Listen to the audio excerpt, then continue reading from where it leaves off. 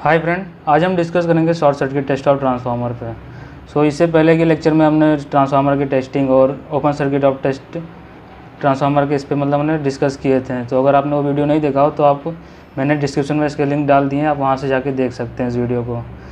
सो आज हम इस वीडियो में शॉर्ट सर्किट टेस्ट के बारे में डिस्कस करेंगे कि ट्रांसफार्मर में किस तरह से इस टेस्ट को परफॉर्म किया जाता है। सो so, इससे पहले अगर आपने अभी तक हमारे चैनल को सब्सक्राइब ना किया तो पहले हमारे चैनल को सब्सक्राइब कर लें ताकि हम जो नए नए वीडियो अपलोड करें उसकी सारी नोटिफिकेशन आपको मिलती रहें। चलिए शुरू करते हैं।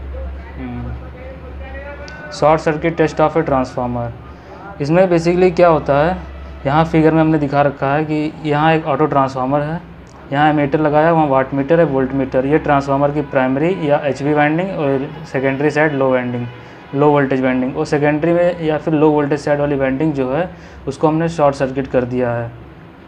और यह उसका इक्विवेलेंट सर्किट डायग्राम है। तो इस टेस्ट में हम क्या करते हैं? बेसिकली पहले उसकी आपको वर्किंग बताना, फिर से कुछ इंपॉर्टेंट पॉइंट के बारे में डिस्कस करते हैं। तो इसमें हम क्या करते हैं? बेसिकली कि जैसे हमें ट्रांसफार्मर की शॉर्ट सर्किट टेस्ट को अगर जानना होता है कि इसमें इससे मतलब टेस्टिंग में मैंने बात की है कि इससे हमें वोल्टेज रेगुलेशन इफ़िशियंसी ये संट पैरामीटर, इन सारी चीज़ों की हमें जानकारी मिलती है। तो इसी के लिए हम इसकी टेस्टिंग टेस्टिंग करते हैं। तो इसमें क्या है कि यहाँ पे हम जो ट्रांसफार्मर की टेस्टिंग हमें करनी होती है तो हम सेकेंडरी साइड यानी लो वोल्टेज साइड को शॉर्ट सर्किट कर देते हैं। वो हाई वोल्टेज साइड में सारे मेजरिंग डिवाइस लगा करके अपना टेस्टिंग परफॉर्म करते हैं। तो इसमें यहाँ एक ऑटो ट्रांसफार्मर लगा होता है। तो इसमें सबसे पहले हम क्या करते हैं, जो हमारा अप्लाई वोल्टेज होती है हमारी उसको हम ज़ीरो से लेके वेरी करते हैं। ज़ीरो से बढ़ाते हैं और ज़ीरो से बढ़ाते हैं और रेटेड वोल्टेज जैसे हमारा ट्रांसफार्मर में 230 वोल्ट रेटेड वोल्टेज है तो हम उस रेटेड वोल्टेज की दो से या 12 परसेंट के बीच में हम वोल्टेज को वेरी कराते हैं और इसी इतने वेरिएशन के अंदर ही ट्रांसफार्मर में सर्कुलेटिंग करंट फ्लो होने लगती है। मतलब ट्रांसफार्मर की जो रेटिंग करंट रेटेड करंट होती है, वो करंट यहाँ पे फ्लो होने लगती है, क्योंकि यहाँ पे हमने शॉर्ट सर्किट कर दिया। करंट जल्दी मतलब कम वोल्टेज पे ही रेटेड करंट इसमें फ़्लो होने लगती है।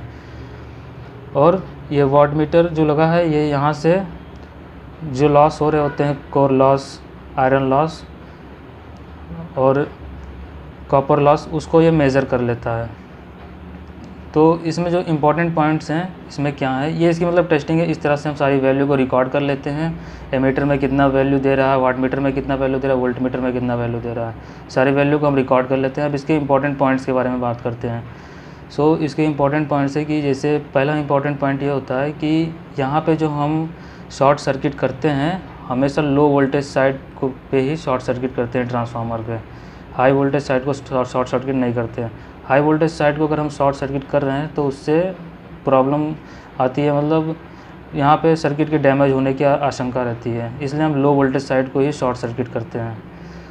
और जो हमारे सारे मेजरिंग इंस्ट्रूमेंट लगे होते हैं the measuring instrument are place on high voltage side यानी जितने भी मेजरिंग इंस्ट्रूमेंट लगे होते हैं, वो सारे के सारे हाई वोल्टेज साइड में ही लगे होते हैं। जैसे कि यहाँ फिगर में मैंने दिखा रखा है। और The applied voltage is adjusted by auto transformer to circulate rated current in high voltage side.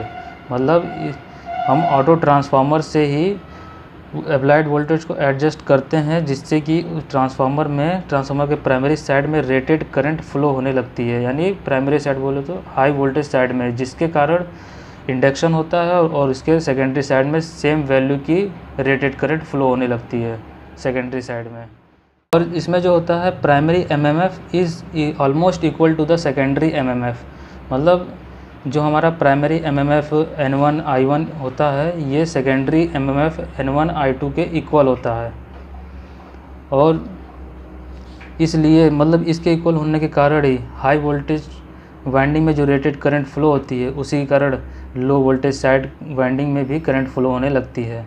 अब The primary voltage of 2% to 12% of its rated value is sufficient to circulate rated current in the both primary and secondary winding. मतलब primary voltage का 2 से 12 percent के बीच ही मतलब इतना हम apply करते हैं जिससे कि हमारे ट्रांसफार्मर के प्राइमरी और सेकेंडरी वाइंडिंग में सर्कुलेटेड रेटेड करंट फ्लो होने लग जाती है। और जो वाट मीटर होता है नेक्स्ट पॉइंट है, जो वाट मीटर होता है, ये रिकॉर्ड करता है सिर्फ़ ओमिक लॉस को। ये कोर लॉस को मेज़र नहीं करता। मतलब जैसे हमने ओपन सर्किट टेस्ट में पढ़ा था, वहाँ पे जो हमारा ट्रांसफार्मर की टेस्टिंग में, वहाँ पे वाटमीटर कोर लॉस को खाली मेज़र करता था ओमिक लॉस को नहीं करता था। यहाँ पे क्या है कि यहाँ पे ओमिक लॉस को वाटमीटर मेज़र करेगा और कोर लॉस को नहीं करेगा। ऐसा क्यों है?